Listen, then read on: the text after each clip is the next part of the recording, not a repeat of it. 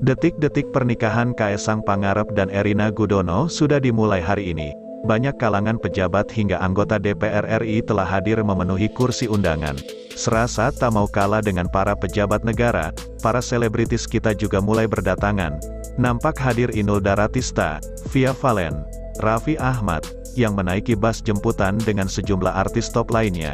Yang tak kalah menariknya kedatangan artis yang satu ini, hingga para undangan dan artis lain berdiri melambaikan tangannya.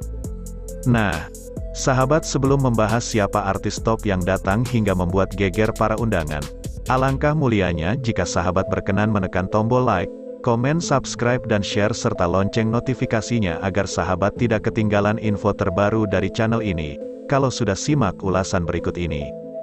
Artis top ini tak lain adalah Agnes Mo, Agnes Mo adalah penyanyi yang telah go internasional dengan lagu-lagunya yang telah merajai pasar tanah air hingga mancanegara. Namun kali ini Agnes Mo akan menggebrak panggung hiburan dengan lagu andalannya, yang telah merajai pasar tanah air pada tahun 2009. Lagu ini telah 40 juta kali ditonton, dan menjadi top trending YouTube waktu itu.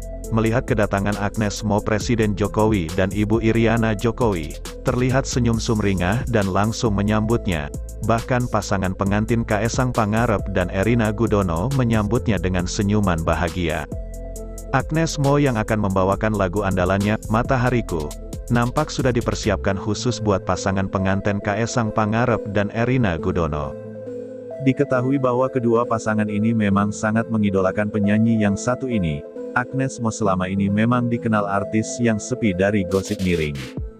Dikabarkan selama ini dia telah mendirikan sebuah rumah sakit gratis di Jakarta, bagi masyarakat kurang mampu.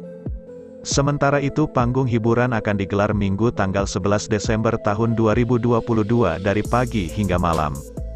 Terdapat sembilan panggung hiburan, sahabat akan dimanjakan dengan musik dangdut pop hingga rap.